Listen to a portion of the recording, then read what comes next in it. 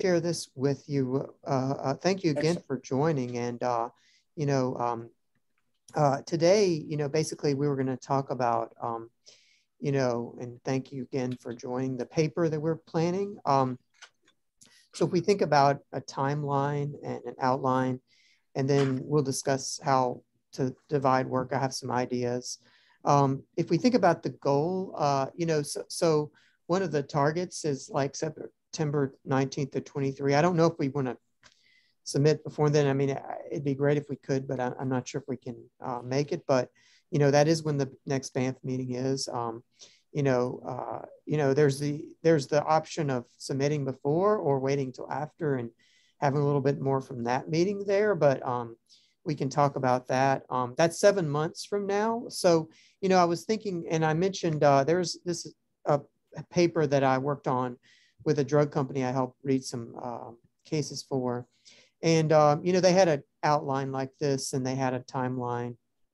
And it was kind of helpful. It kind of gave me the idea to do that. And, and, and you know, their, their timeline was kind of tight. You know, they'd have like a, you know, outline, but they'd only give three days. And, you know, uh, you know, I think we need more time. This was a pretty tight um, timeline. So, so when we think about, you know, the timeline, if we have seven months, um, you know, we can spend a month for the outline, a month, uh, three months or so for writing and soliciting of um, a paragraph or so from the contributors and mm-hmm. assembling a final version for one month. Uh, we can circulate that for one month and then we can uh, revise that final version um, for one month based on the uh, circulation that we went through.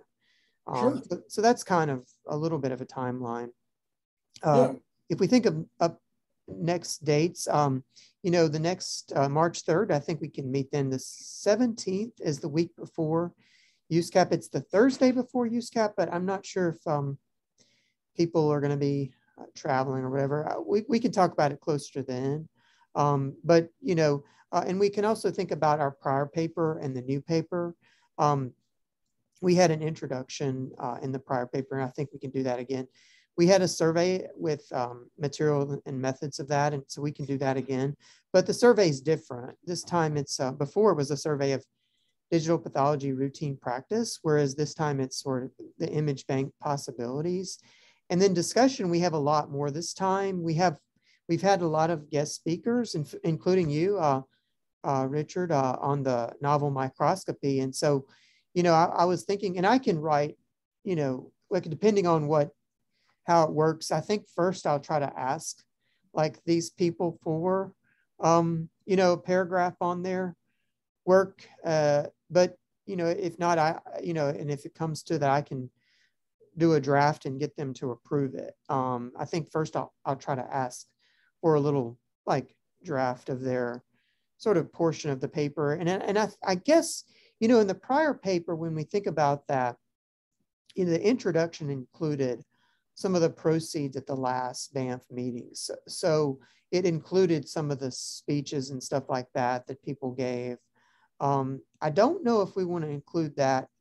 These talks like that people have given to, and these have been great, and I think we should discuss them in the paper, but I'm not sure if it should be in the introduction or the discussion.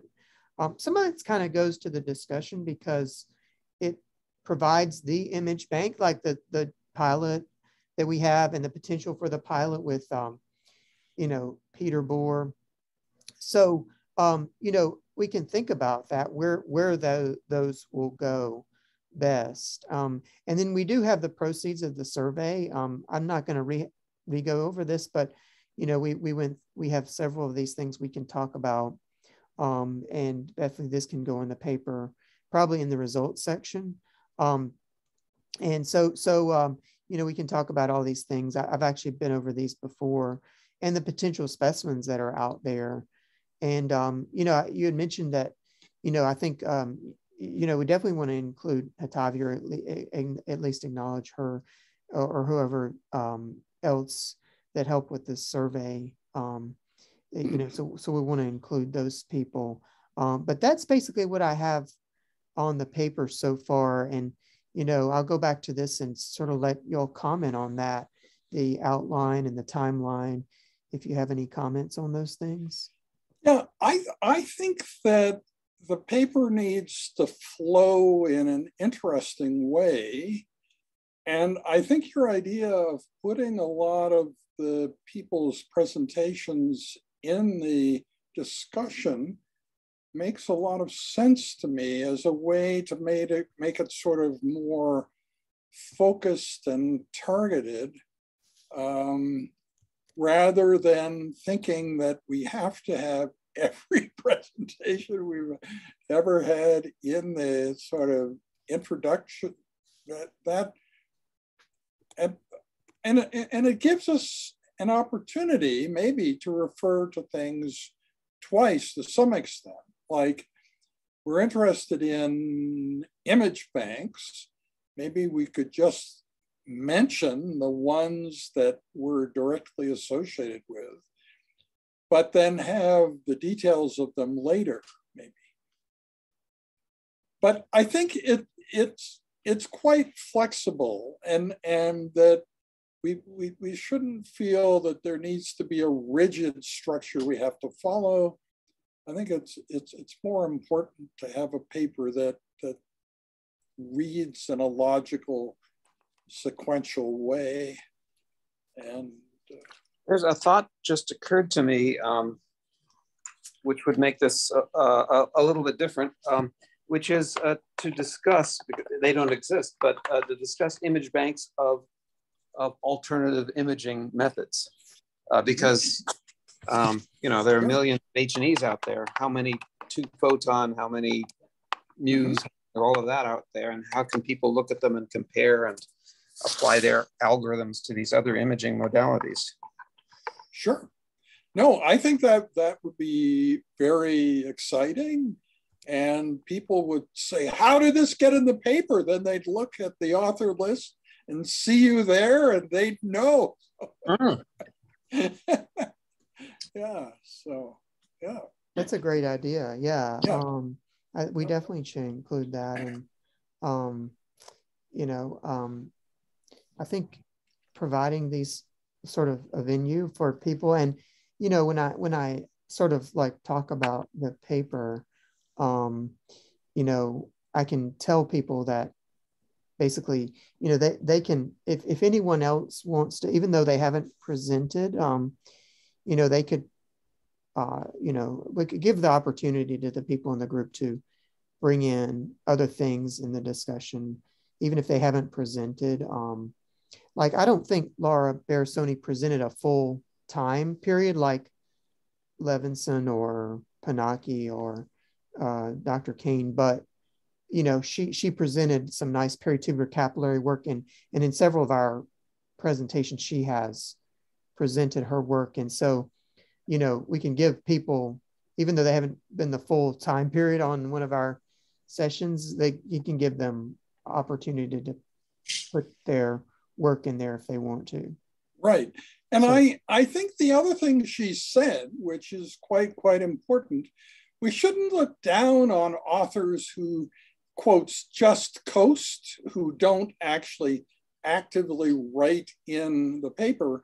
If they've been a part of the action that we are, we are describing, um, and if they approve of what's being written, it's actually quite cumbersome if you have a lot of authors and they're all trying to write write thing at the same time, right? I mean, not just their part, but the whole whole thing. So I think um, last time we had a lot of very prominent people making no suggestions or changes. So I mean that there's that's that's a kind of way that a lot of papers proceed i think with the main writing being done by maybe two or three people. And and there's no scorn that needs to be directed to the others. Yeah. Yeah.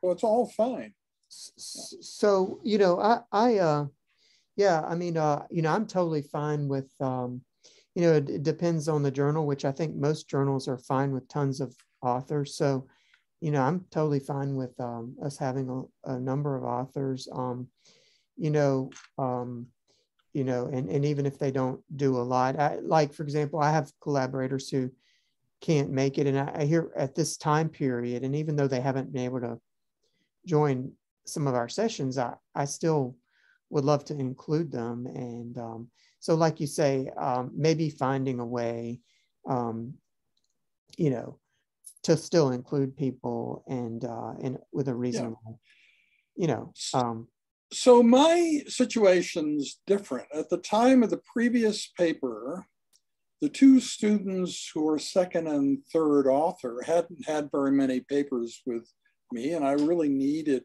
to, you know, reward them and so on. We don't need that again. So, I mean, we don't need uh, Ishita Mogi and, and Simon Wu to be authors this time. Um, yeah, so I mean, I don't, I don't want a lot of sort of hangers on that you know, the justification for them being authors are are extremely weak, kind of thing. Well, as long as we um, just put, you know, the author contributions, you know, discussion, editing, content, and basically, sure. you know, uh, um, you, you, put up the the uh, the footnote or whatever and says basically did nothing for this paper, then then we can include them. yes. Oh, or not. We decided or not. Those, those, people we don't need to to include. Yeah. yeah. Anyway, I I leave some of that up up to you, Brad. I mean, if there are you know collaborators of yours that help with things on a sort of daily basis kind of thing, but maybe didn't do anything specifically for this paper, but are still willing to look at it and you know give you feedback. I don't know yeah, so I mean, there could be some people like that. Yeah, uh, we'll, we'll see. Um, um, yeah, we'll, we'll see. I'll, I'll give it some more thought and see if we can figure out how to handle this in a sure appropriate manner. um, that sounds good. Yeah, I, I need to look at again at how many, you know, is as we look at the how to circulate this. I mean, we have a mailing list now, and of the you know that it goes out to the meeting appointment things and and things like that. And um you know and and I and I, I haven't heard yet if anyone is like not um interested. You know no one's told me hey stop sending me this. So so so um even though you know we don't have keep any, your spam away from me. Yeah, yeah. so, so nobody said that, that eh? So yeah, yeah. but um you know, if, um, you know, that that list may be too long for, uh, so we may need to figure out a way to, um, some of the people, I don't even know how they got added. Um, I think it just, they got forwarded to someone. So, so it's probably not feasible to include everyone who, no, no. Um, but maybe the, the original group and then new people who've been very active. That might be the way to do it. Yeah. Um, yeah. yeah. And so um, that that's Sounds probably good. yeah the original authors, and then people who've been active, um, and um, yeah. So that that that's probably the way to do it. Um, you know that I was in another Banff working group and. And they're just now doing a paper, the thrombotic microangiopathy group, and right. they had a really formal way of. Um, it was a Delphi method uh, paper. They followed the Delphi method, and which you know I'm not an expert on. But anyway, she had a pretty good way of saying, "Hey, if you don't do this and give me an email by this date, then I'm not going to include you." Not something like paper. that. Yeah. Yeah. So so yeah, and I guess there's a way of yeah. I, I could. I might have. I hate to do that. I'm not that kind of person, but I may end up having to do Sure. Something similar yeah. to that. Because um, if yeah. you don't hear like yes or no, I mean, like you say, uh, when you do the footnote for the sort of contributions, you at least need to be able to confirm that they reviewed it. So right. yeah. yeah. So yeah. Um, yeah. So so that makes sense. Um, uh, yeah. So um, yes. So so I think you know with the timeline you know, with this will give a month, I can start uh, thinking about how to do the outline um, and uh, have that um, done. And um, yeah, and so um, and then we'll start soliciting uh, contributions and, and, do the drafting. Um, you know, yes. So I think this is doable. Do you think submitting by Banff would be a goal, or should we wait till after? No, I think we, we, we might as well submit after. That gives a maximum possibility that that we'll have highly significant and uh, you know um, just break, breaking news kind of thing. Yeah. So so so so um, ju- yeah. So so yeah. after the Banff uh, meeting, yeah. okay, yeah, because we had one before. So okay, well that that pushes this timeline a little bit further back, um, but not too much. And maybe I should re- I could rethink how we want to. We would want to be able to incorporate that last information quickly. Um, so maybe that could go in the discussion also. Um, you know, anything that happens there. I don't know yet. I don't think we're going to have as big a session as we did last time. Are we?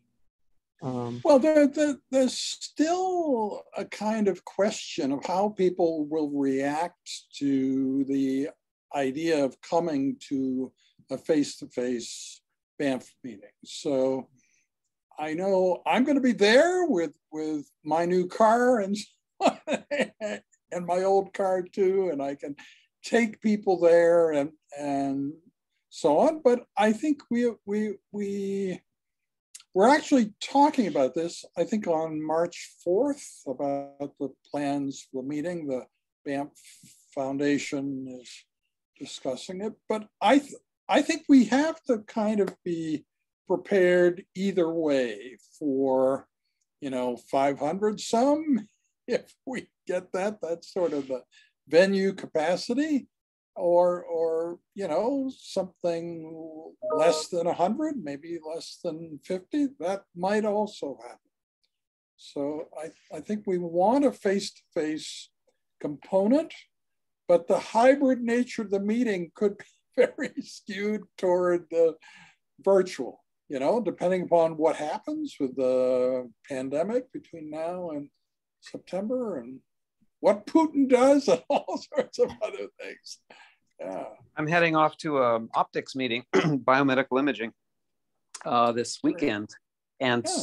so few people uh, are coming. The organizers aren't even coming. I, wow. I, I, now the acting conference chair, and I'm chairing two sessions and giving two talks. wow. Yeah.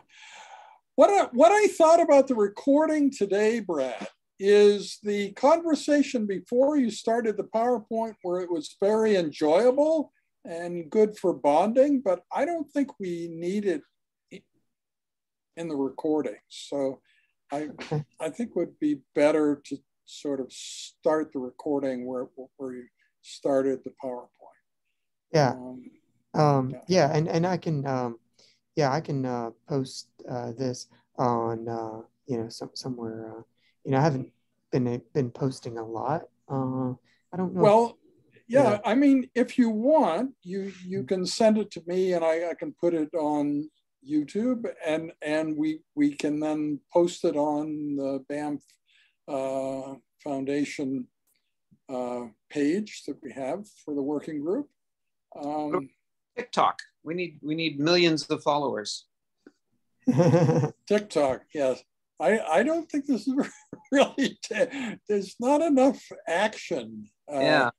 it's it's it's lacking the key elements first and it's and it's too long too. You know, it should be like 90 seconds or something. TikTok. So, yeah. yeah. we can start thinking of, of ways of uh, doing a micro influencer type strategy. yeah, we, we, we can also do that, but it has to be different from the recordings of these meetings. Yeah. A model for how to give presentations at scientific meetings is you you get your your TikTok slot and that's it. yeah. right. Yeah. So. Yeah, yeah. Well, well uh, I think they're they're having a renal pathology society meeting today too at eleven. And maybe one reason why we didn't have as many people too, because I have to join that too. I don't know if you're joining on that. Um, but yeah, there's no. a lot of me. I had one. Yeah, so yeah. we're all in a lot of meetings. But I think this is worth. Um, yeah, I, I, can send you this video, and um, um, I think that basically covers it for today. I, I was gonna. I was sure. saying I'd wait till 30 minutes after and, and see, but I know um, if anyone else joins. But uh, I think that probably. Um, I think that covers it for today. And yeah, and, and, and short videos, when people see like a 20 minute length or something, they're a lot more likely to click on that than, you know, 59 minutes or something. So, yeah. Yeah. Yeah. Um, yeah, I, I, I know how to edit video too, but you're a pro at that. So, and I'm, I'm, I'm snowed under with cases. Uh, sure. No, you, so, you can yeah. send me the whole thing and then I'll edit off the, the part before the PowerPoint. Yeah. Yeah and I'm I plan to put the um, collection back up at some point, like because I realized there was a problem. I have them all on OneDrive, but I realized there's an issue with people getting on there. So putting them, uh, I was thinking of. I do have Google Drive space, and it seems like Google Google Drive is a little bit more user friendly as far as letting people get on. Mm-hmm. So uh, yeah, yeah, the way you were doing it before, I just regularly gave up. I went through a few steps. Somehow, this isn't worth the effort. Yeah. Well, for members of Slack, it was good, but the, the Slack has not been as active. So we, we can rekindle that probably too. But then Slack only gives me a certain. Um, I was gonna. I could tell that the videos were gonna start eating into that space, and we want to keep that space for other things, um, you know, documents sharing and things. So, so the videos are going to eat that up quick. Um, yeah, no, so. I'm happy to to put it on my uh, YouTube and then have the links to them on the Banff uh, Foundation page. Enlightening to have a 15 minute discussion on the video on how to edit the video.